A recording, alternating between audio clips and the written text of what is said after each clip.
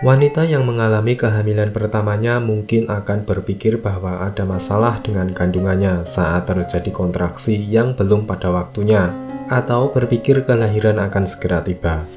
Terkadang kontraksi tidak selalu berarti Anda akan melahirkan, tetapi itu bisa menjadi cara tubuh Anda mempersiapkan diri untuk melahirkan.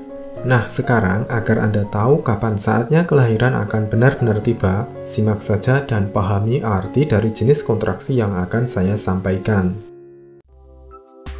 Nomor satu adalah kontraksi awal.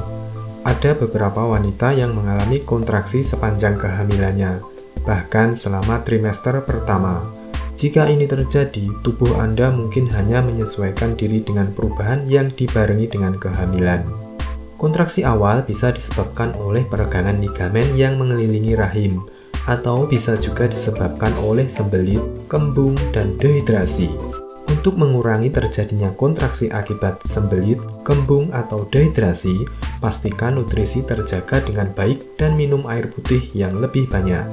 Jika kontraksi awal Anda disertai dengan pendarahan, bercak, atau sakit perut, sebaiknya segera konsultasikan dengan ahlinya.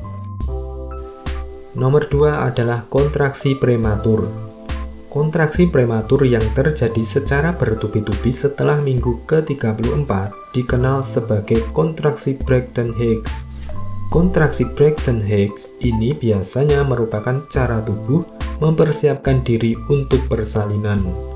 Kontraksi ini pada umumnya tidak menimbulkan rasa sakit dan menghilang dengan sendirinya. Tetapi jika kontraksi terasa nyeri atau terjadi secara berkala setiap 10 menit atau kurang dari itu, kemungkinan akan mengalami persalinan prematur. Jika itu terjadi, segeralah periksakan ke klinik terdekat. Nomor tiga adalah kontraksi setelah berhubungan badan. Pada beberapa wanita mengalami kontraksi segera setelah berhubungan badan atau setelah mengalami orgasme, dan hal itu normal-normal saja aktivitas itu tidak akan meningkatkan risiko persalinan prematur maupun persalinan reguler, kecuali jika Anda mengalami kehamilan dengan komplikasi seperti preeclampsia. Nomor 4 adalah kontraksi nyata. Kontraksi sesungguhnya atau nyata jauh lebih intens dan sering kali lebih menyakitkan.